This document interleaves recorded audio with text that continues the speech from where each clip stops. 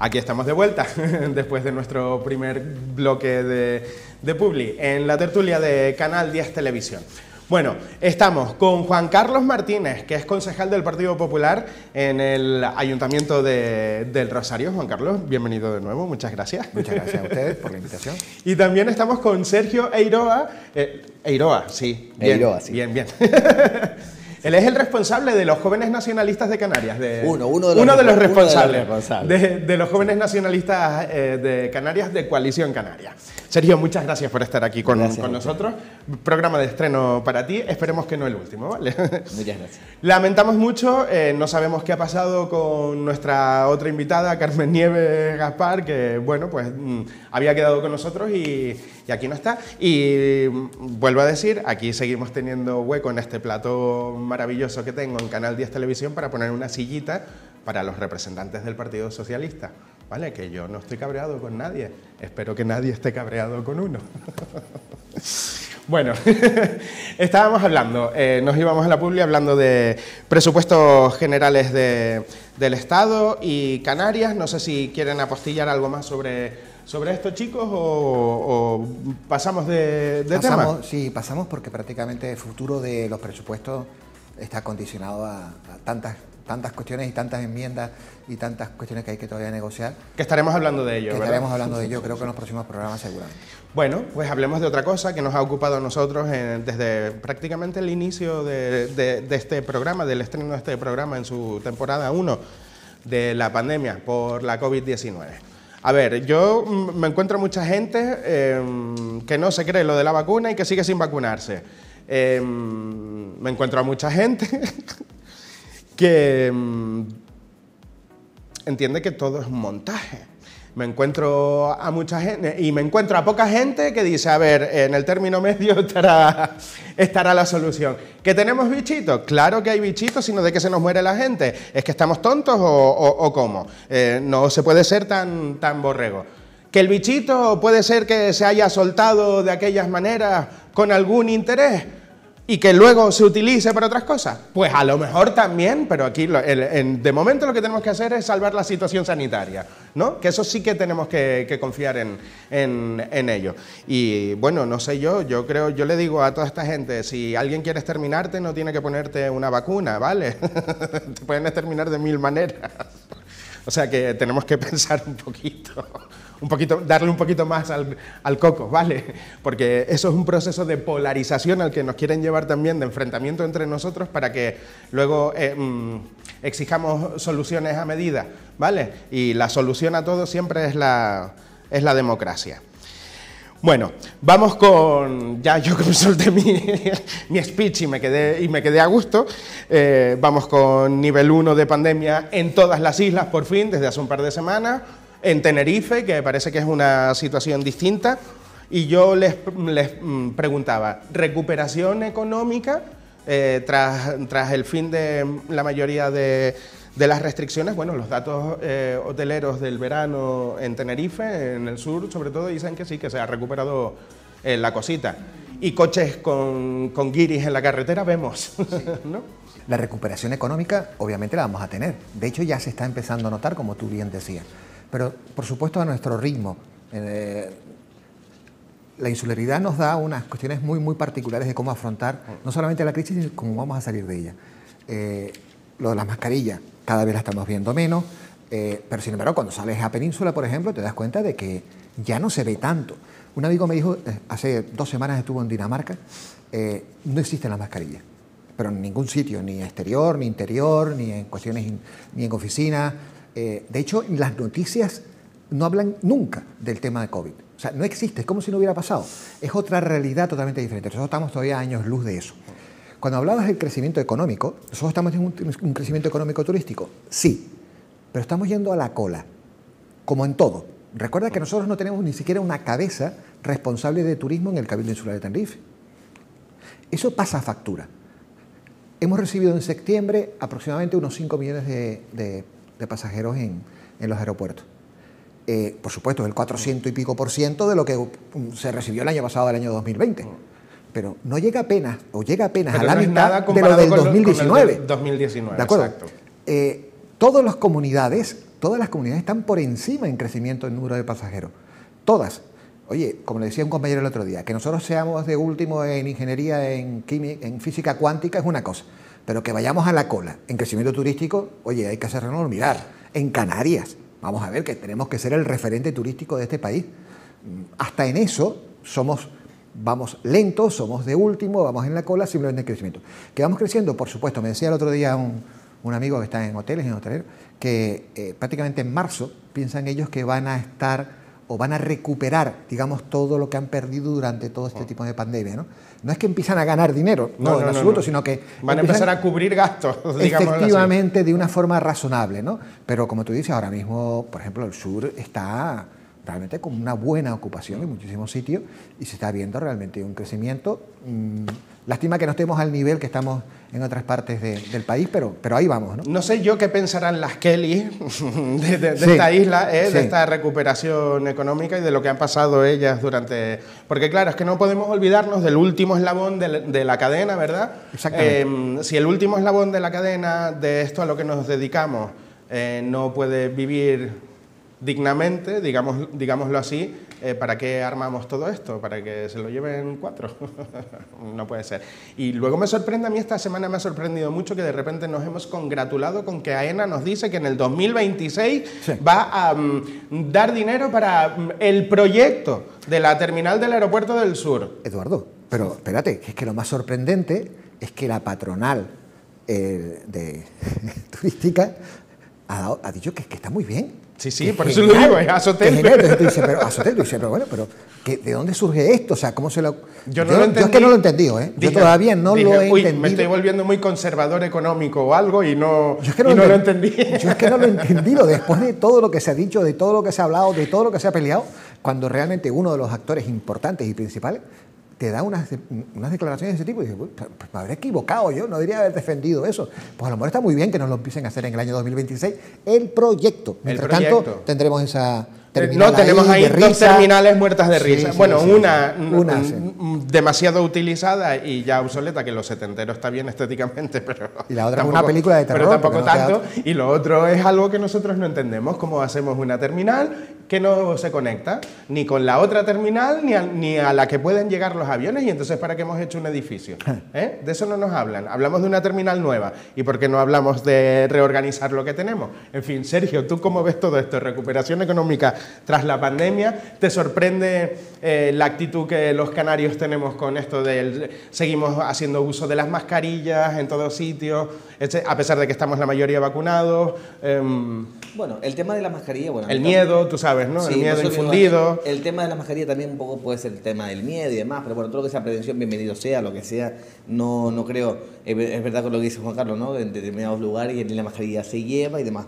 Pero bueno, si eso, si la gente por seguridad, por el miedo y más quiere tenerla, pero sí es, verdad que hay que empezar pues a, dinamizar eh, los municipios, la isla, hace falta que, bueno, eso que como bien decía Juan Carlos, eh, el sur está bastante, bueno, está bien, pero podría estar mucho mejor, ¿no? Tenemos un gobierno de Canarias también que ha estado con sub y baja, sub y baja con los niveles y ha estado, pues, yo sé que no es fácil, eh, para nadie ha sido fácil el tema este de la pandemia, ah. pero que hay cosas que ni, vamos, ni, ni lo hace tan mal. Sí, esto, bueno, que, esto que se lo digan a los, a los hosteleros, a la gente de los restaurantes y de los bares y tal, que era de la noche a la mañana, de madrugada, te cambiaban las, las condiciones y y a lo mejor tenías que afrontar un gasto eh, así de la noche a la mañana porque sí, o afrontar unas pérdidas así porque sí de la noche a la mañana, ¿no? Exactamente. O el sector de, eventos, que aquí será por eventos en, las islas, ¿no? Pero en Tenerife, por ejemplo, en el sur, cantidad de, festivales y demás que no han levantado cabeza todavía ni se espera cuándo se van,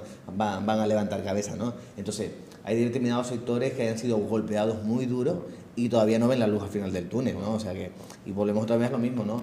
Yo el otro día casualmente estaba hablando con una empresa de, animación y de eventos y decía que el año pasado fue mejor que este año. El año pasado, 2020, fue mejor. Claro, porque las administraciones locales empezaron ¿no? a hacer streaming y todas estas cosas. y, aparte de eso, el nivel sube, baja. Exacto, y después esas otras. Hay programación prevista ahí a la vuelta de la esquina. No, nivel 2, 3 se, van cayendo, pam, pam, pam, pam. sí, bueno, eso nos lo pueden decir a nosotros aquí en Sanadú, que, que las armamos también cuando nos dejan. pues, sin ir más lejos. Lo conocen a la perfección y eso es un, un tema bastante preocupante, ¿no? En fin, em, y claro, después a todo esto, todo el, todo el ruido mediático, ¿no? Todo lo que hemos escuchado es que ha sido tremendo lo que hemos vivido durante este, estos dos últimos años. O sea, esto ha sido... Em, Hemos vivido eh, una pandemia, incendios, un episodio, ¿se acuerdan del episodio de Calima de Carnavales? Ese fue el inicio de todo. ¿Eh? A partir de ese punto de inflexión se fue todo, todo al traste, ¿no? Hay muchos memes por ahí en internet que dicen que Ángel Víctor solo, lo único que le falta a Ángel Víctor es anunciarnos que la llegada de los aliens. bueno, Y yo digo, esténse calladitos y quietitos. Sí, no, no, pidan, no pidan mucho por si acaso, ¿no? Que se den, ¿no? De todas formas, también esto ha servido para ver eh, si nuestros políticos, y en este caso en particular nuestros gobernantes, eh, pueden estar a la altura de ciertas circunstancias. Y como decía antes Sergio, mm, se podía haber hecho peor, pero tenían que haberlo hecho adrede, ¿no? Porque se ha hecho, muy mal, muy mal, muy Perdónenme que me ría porque esto es un drama, pero sí, se ha hecho es que es mecanismo de defensa, si no, uno no puede vivir. Claro, se ha hecho muy mal. Una empresa no puede estar pendiente toda la semana de qué es lo que decide un señor de una manera muchísimas veces, mucho hemos catalogado de, caprichoso, porque al final eh, detrás mira quiénes estaban, ¿de acuerdo?, decidiendo ciertas cosas no se puede hacer ningún tipo de planificación, no puedes comprar, o sea, pero esto ha afectado a todos, a todos, a todos los sectores, a todos los sectores económicos de la isla. Por eso es que nos está costando mucho más que otros salir, porque inclusive todos nuestros abastecimientos, todos estos insumos vienen de fuera. O sea, esto no es una cuestión de que mañana aquí nos ponen en nivel 1, subes el interruptor y empiezas a trabajar. Es que tienes que planificar anticipadamente eso para poder. Y esa curva nos está costando un poco llevarla, y más con el tipo de gobierno que tenemos, tanto el gobierno autonómico como, como gobierno insular. Nos ha servido para poner en valor eh, qué tipo de gobierno tenemos, qué tipo de personajes son los que toman las decisiones y, un poco que la gente decida en el futuro qué es lo que quiere desde, Desde el punto de vista político, em, bueno, es que yo creo que es necesario que analicemos y no es, no es de nuevo, no es antisocialismo, es que em, uno tiene que fijarse y, ver, y ver lo que hay. Em, bueno, mejor, mejor abandono el tema porque me meto en otro lío y me mandan otro, otro burofax. Ustedes no saben lo difícil que se me está volviendo a mí esto últimamente. Porque claro, cuando uno habla se creen que es lo que dice el canal, ¿no? Yo diferencio mucho cuando es un editorial y cuando lo dice uno, ¿no? Eh, pero bueno, sobre esto de, pandemia deberíamos de, vamos a seguir, vamos a seguir hablando. Efectivamente, a mí me llama mucho la atención la situación en el resto de países de, Europa, incluso en territorio peninsular y cómo, y cómo lo vivimos aquí, ¿no? Bueno, eh, ¿qué les parece? Hablemos un poquito de La Palma. ¿Qué les parece? Bueno, al ente público Radio Televisión Canaria le acaban de conceder un Ondas por la cobertura mediática de, de la isla de, la situación geológica en, la isla de La Palma. No vamos a abrir debate. Bueno. sobre lo de la autonómica. O si quieren abrir debate. Yo en un principio decía que... ¿Eh? Tenemos una armada en el Parlamento tremenda ahí. Sí, ¿eh? sí, bueno, pero independientemente del debate, de, de la parte política y del debate que está abierto sobre el tema, eh, me parece merecidísimo. ¿Vale? Eh, orgulloso del nivel de los profesionales de, que hemos tenido en la televisión autonómica. La cobertura ha sido espléndida, ha sido referente mundial. Muchísima gente no ha tenido ni que desplazarse, sino que ha hecho uso prácticamente del trabajo de, de esta televisión y realmente me pareció un premio súper merecidísimo. ¿no? A los compañeros felicidades. Sí, yo creo que, el esfuerzo... yo tenía más mala leche, yo iba con, por otro debate. Digo, no, yo lo sé. Lo de la utilidad hasta este momento de la autonómica, si, el, si la fórmula es la adecuada, todas esas cosas, ¿no? la financiación, todas esas cosas. por supuesto, o sea, todo eso es debate. sí, sí, Todo eso está sujeto a debate, todo eso está sujeto a crítica, todo eso es mejorable, por supuesto que sí. Pero bueno, hay que reconocer que nos ha tocado, con lo que nos ha tocado, con el tipo de televisión que nos ha tocado, afrontar una crisis como esta y creo que nunca antes habíamos conocido esa gran capacidad, ese gran potencial que tiene la televisión autonómica y, creo que es importante que lo destaquemos y que se premie. Exacto. Eh, sí, podemos entrar a debatir cuestiones como comentas, ¿no? de funcionamiento interno, lo que sea de, de, Radio Televisión Canaria, pero sí verá, como dice Juan Carlos, también eh, muy orgulloso, ¿no? Cuando ves a nivel nacional que nos ponen de ejemplo los informativos, cómo lleva, cómo se abre con esos platos. Es verdad que también juegan... Lo de la realidad aumentada. Exactamente. Ahí fuimos pioneros. Es, verdad que juegan a otro nivel, pero bueno, también de todas formas también felicitar a ellos por ese reconocimiento y a todos los medios que están siguen estando en la isla de La Palma Exacto. informando. La- Exacto, informando, Info. no... y, no la, haciendo- cla- y la clase de geografía que estamos dando ay, madre mía, miren, esta Vale. semana otra Sí. vez en la sexta, por Dios. A ver, compañeros de la sexta. La laguna solo es municipio en la isla de Tenerife, ¿de acuerdo? La laguna en La Palma solo localidad, no municipio, ¿vale? No hay alcalde ni alcaldesa.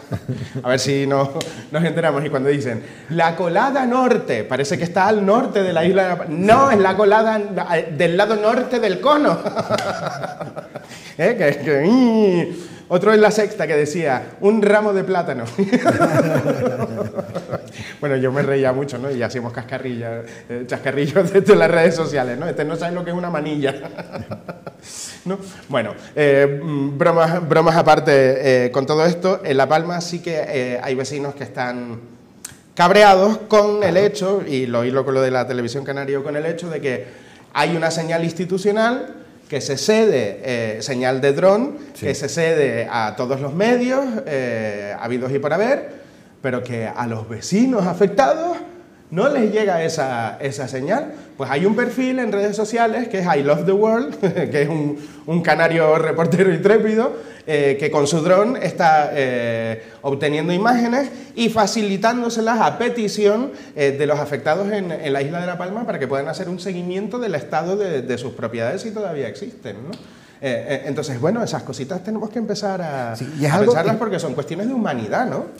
Sin lugar a dudas. Yo creo que, que no es- se pide nada del otro mundo, ¿no? A eso voy yo, a las cosas de, de- de- del gobierno de Canarias que tiene que estar, ¿no? Al final, quien está controlando eso por encima de todo, aparte, bueno, con una coordinación con los ayuntamientos correspondientes de la isla de La Palma y junto con el Cabildo, ¿no? Pero cosas evidentes, que son evidentes, ¿no? Decir, oye, que sí, que está bien para la información, para que todas las islas a nivel nacional, internacional, estemos informados, pero oye, ¿y los afectados? ¿Quién los escucha? Exacto. ¿Quién pone a su disposición una cosa tan básica y tan simple que tampoco se está pidiendo nada del otro mundo, ¿no? O sea, es algo que voy a que, mm, que se pueden mejorar las cosas, que no es tan difícil. que se, que se puede tener un poquito más de, de delicadeza ¿no? con, con todas estas cosas. Bueno, anyway, muchas felicidades a todos los compañeros de, de la televisión canaria, básicamente de los servicios informativos y de la programación de, de- actualidad. A mí se me ocurren muchos nombres, ¿vale? De muchos compañeros queridos, pero bueno, ahí los dejamos, compañeros de lente, Radio, Radio Televisión Canaria.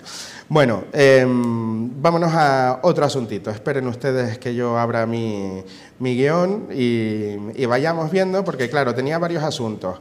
Y era, bueno, hemos hecho presupuestos generales del Estado y Canarias, hemos hecho eh, pandemia en todas las islas. Vámonos a Arico. Vale, Bueno, me dicen que me quedan cinco minutos. Presentamos el tema, hablamos de un poquito, nos vamos a Publi y tal. Arico, a ver, de nuevo, Papá Cabildo, que dice que el dinerito que destina eh, como compensación a Arico es el suficiente. Gobierno de Arico, que dice, ese dinerito no nos da ni para palillos de dientes. Mm, nuestro municipio eh, no puede crecer socioeconómicamente eh, porque mm, estamos quedándonos con el vertedero insular. Porque a día de hoy es vertedero, aunque se- algo se recicla y se separa, pero sigue siendo un vertedero. Y de hecho no hay sino que por las mañanas uno viene por la Tenerife, uno en sentido sur, y cuando llegas a Tajao, desde Tajao hasta el puerto de Granadilla, chiquito pestacillo. ¿Eh? Bueno, eso, eso tiene, que, tiene que afectar. Estamos siendo justos en el resto de la isla con, con, con Arico. Está siendo justo el, el gobierno del Cabildo de, de Tenerife con, con el municipio de Arico. Lo estamos compensando como, como se debe. Juan Carlos. En absoluto, yo creo que la deuda que tiene la isla de Tenerife con Arico es inmensa, es impresionante. No solamente es el, la planta, el PIRS, es que en Arico está eh, todos los sistemas eólicos, los parques eólicos, está la extracción de árido, está una serie de infraestructuras que en ningún lado, yo, yo no he visto a ningún municipio levantando la mano y diciendo, no, no, póngame a mí la planta de transferencia. No, no, no, en absoluto, la planta de tratamiento de residuos, en absoluto. Eso fue una decisión que se tomó en un momento determinado, inclusive por el Partido Socialista en una época, y, y Arico ha tenido que vivir y convivir y sufrir prácticamente durante todos estos años, durante toda su historia, realmente este tipo de cosas. Yo creo que nadie pone en duda de que la incidencia que tiene el, el- la planta de tratamiento, en este caso en particular, en Arico, eh, sigue estando ahí. Es algo que no caduca, es algo que sigue estando. Mm, muchísimo terreno dedicado a esto, muchísimo impacto medioambiental en todo, todo el alrededor eh, afectado. Todo lo demás. Y, y, todo ha surgido un poco por un problema con el Cabildo que no tenía que haberse presentado nunca. Aquí el gravísimo problema de todo esto es que el Cabildo nos ha demostrado de una vez por todas que no es la institución de referencia que todos tenemos en mente que debe de ser el cabildo. Ha dejado de ser papá cabildo. No, no, pero es que no ha sido enemigo, es enemigo prácticamente de los municipios. Y sobre todo enemigo de aquellos municipios donde el color político no, les, no las comparte, no les coincide, eh, y a veces por actuaciones personalísimas, como por ejemplo la actuación que tiene Javier Rodríguez con ciertos municipios. No es el primero, ¿vale? Ya pasó por el Rosario también y tuvo su escándalo. Eh, mm, está por Arico, está haciendo lo mismo, en los siglos prácticamente lo mismo. Es verdad, a ver, es, verdad, pero no solamente. muy bien, bien, porque no recuerda. Además, todo eso lo hemos recogido nosotros en el ocio y negocio, ¿no? Claro, pero. La depuración de las aguas en, el noroeste de la isla, que la población ha dicho que debe de ser natural y que hay que invertir así. ¿Y qué nos dice el, el Cabildo, medio ambiente en el Cabildo? No, eso es muy caro pero la solución es llevarnos el agua sucia de Garachico en Cuba. Que, ¿Dónde van a acabar esas cubas? ¿Dónde soltamos ese agua? En otro emisario, ¿no? O sea, que no estamos soltándolo en Garachico para soltarlo en otro sitio. Es un, disparate. Yo no entiendo por qué. Vamos a ver, con todos los respetos a. A, ver, sin personalismos, que esto también. A ver, yo creo que se ha equivocado. Aviso, sin personalismos, no queremos meternos con nadie. Hablamos de, de, hechos, actuaciones y gestiones políticas, ¿eh? no de personas. Claro, se ha equivocado, se ha equivocado de manera notable y en el caso de Arico se ha equivocado, pero se ha estallado contra una pared prácticamente de una forma que no tenía que haber ocurrido. Recordamos que en un principio eh, de todo esto se entera Arico por una pregunta que lleva el consejero eh, Valentín González al, Cabildo, ¿no? Para ver cómo está el tema del nuevo convenio y todo lo demás. No, no, es que no va a haber nuevo convenio se entera a través de ello, a pesar de haber tenido una propuesta, una moción aprobada institucionalmente en el Cabildo en el año 2020 de que eso se iba a volver a renovar. ¿Vale? Pues se entera a través de una pregunta de que eso no es así. Después alega de que es que además es que existen informes porque dice que dos subvenciones no se pueden recibir al mismo tiempo. Hoy sabemos que se ha hecho público el informe de que eh, las subvenciones son compatibles, que no tienen absolutamente nada que ver y que si no lo hubiera sido, teníamos que haber buscado el mecanismo jurídico para poderlo hacer la gente no es consciente, vamos a ver, para que, la gente sea consciente, que Arico tenga la planta de transferencia, la planta de tratamiento de residuos allí, eh, le genera al, Cabildo, al, Arico, un ingreso de 730.000 euros, creo, al año, una cosa así. De los cuales, pero espera un segundo, pero es que, es que además Arico paga por llevar sus propios residuos de la fracción resto, como todos los municipios de la isla, paga por llevar sus residuos allí y creo que están en torno a los 250 mil euros. Vamos a ver, es que prácticamente lo está haciendo de gratis, lo está haciendo casi de gratis. Es imposible que Arico pueda seguir soportando esto. No hay ningún tipo de, razón para justificar que prácticamente Arico necesita su compensación eh, por la deseconomía que supone tener la planta de, tengo ganas de darme así contra una pared. No, no, no, es un abuso. Es un abuso y al final lo que pasa, lo que estamos descubriendo es un poco el personalismo. Eh, vamos a ver que es que Arico ha pedido una reunión y es que ni siquiera el presidente del Cabildo se ha querido estar en la reunión y ha, ya ha dejado que prácticamente vaya el consejero, con, a sabienda de los problemas que está teniendo el consejero de para poder llegar a acuerdos y poder llegar a consensos con, los municipios donde son los colores. que no puede de habilidades se ha equivocado, se ha equivocado de, lleno, se ha equivocado muchísimo, se ha equivocado. Tiene un problema de habilidades sociales. No, no, no, se ha equivocado y se ha equivocado muchísimo. El municipio se ha equivocado muchísimo. A mí me, me, ha, me ha decepcionado muchísimo. Se ha polarizado, eso sí que nosotros lo podemos decir porque se han puesto Mira, me dice el regidor que ya está. Sergio, en el siguiente bloque recogemos tu opinión sobre Arico, ¿vale? Y vayan preparando la cestita de frutas tropicales que vamos a poner el tercero ya, ¿vale? Venga, pues nos vamos a, a Publi, bloque cortito, enseguida volvemos. Interrumpe, interrumpe cuando quieras interrumpir. Sí, claro, interrúmpanse, interrúmpanse. que enseguida volvemos con más, aquí en la tertulia de Canal 10.